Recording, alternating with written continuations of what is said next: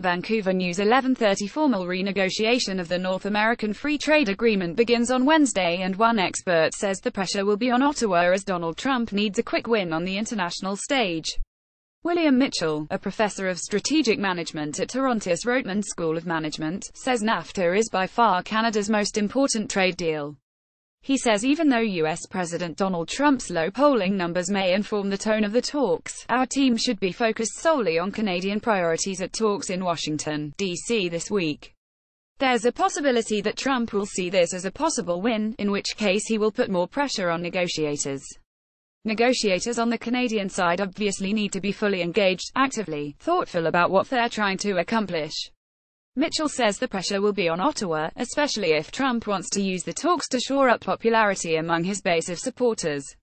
There was one voice, one Canadian voice coming out of Washington, D.C., a few weeks ago saying that Canada should give President Trump a win.